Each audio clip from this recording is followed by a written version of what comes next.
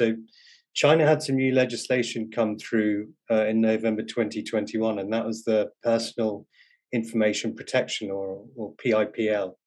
Um, and if you have a look at that, there's another two laws that form like a sort of three pillar data protection stroke cybersecurity system in China. The other two laws are the data security law, which came through uh, slightly earlier in 2021, and the cybersecurity law, which came through in June 2017.